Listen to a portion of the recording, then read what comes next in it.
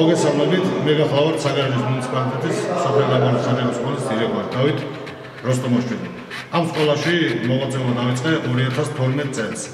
როცა მოვედი ამ სკოლაში, ფაქტიურად სკოლა არ არსებობდა, სწავლა მიმდინარეობდა დაქირავებულ შენობებში, ხოდა სოფლებში რამდენიმე სახლი დაქირავებული და დაქირავებულ ოჯახებში გვხდებოდა სწავლის მართვა. 2016 წელს აგვიშენდა მეცნიერების განათლების მეცნიერების სამინისტრომ ააშენა ეს ახალი სკოლა, რომელიც დაჯდა 4 მილიონ ნახევარი. ჩვეულებრივ ამ წლის სექტემბერში 15 სექტემბერს განახლდა ჩვენ სკოლაში სწავლა.